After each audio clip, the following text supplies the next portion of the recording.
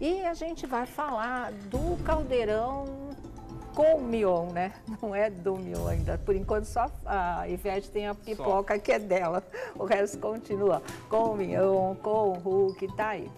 Mas eu acho que uma boa notícia, eu estava, né? E desde o começo a gente tem detonado aqui aquele quadro Toque da Caixa. Quantas vezes eu já falei aqui? Aquele quadro, além de ser, né, ter se popularizado com o Gugu e já era um quadro que eu detestava, ficou muito pior ainda com o Mion. Não pelo Mion, porque ele é ótimo, ele é bárbaro, ele dispensa comentários. O quadro em si, eles carregaram muito mais, a caixa ficou transparente, eles botaram coisas nojentas lá dentro e a gente viu dia após dia artistas convidados gritando, né, uh, se sentindo horrorizados, tendo ânsia de vômito por causa daquelas caixas. Não acho isso nada agradável da gente sentar para assistir em casa. Então a gente vem falando, chega, tira esse quadro e vê o Mion desperdiçar o talento dele numa coisa besta como essa, não dá, né, gente? Saber que um, uma coisa como essa, uma atração, entre aspas, como essa,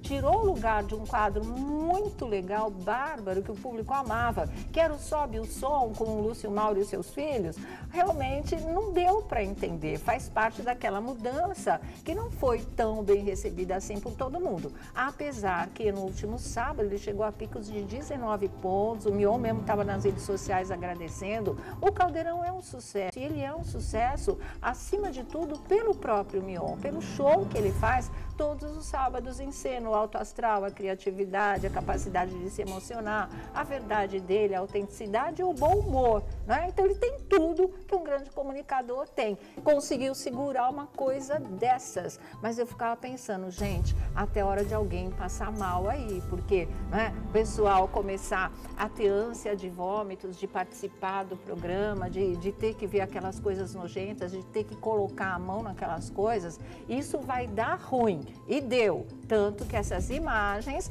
mostram para vocês o desespero do Tiago Oliveira, tendo hoje apresentador, um dos apresentadores do É de Casa, tendo que participar desse quadro. Ele passou mal, ele passou mal de verdade, ele entrou em pânico, ele ficou apavorado, ele chorou chorou. Então, não é à toa, eu não estranhei nem um pouco, embora eles não tivessem se referido, ele não tivesse referido a esse caso, mas Marcos Mion foi para o Instagram e disse que tinha novidades para contar para gente. Qual a novidade? Qual a novidade? É boa? É boa, mas a razão está na cara.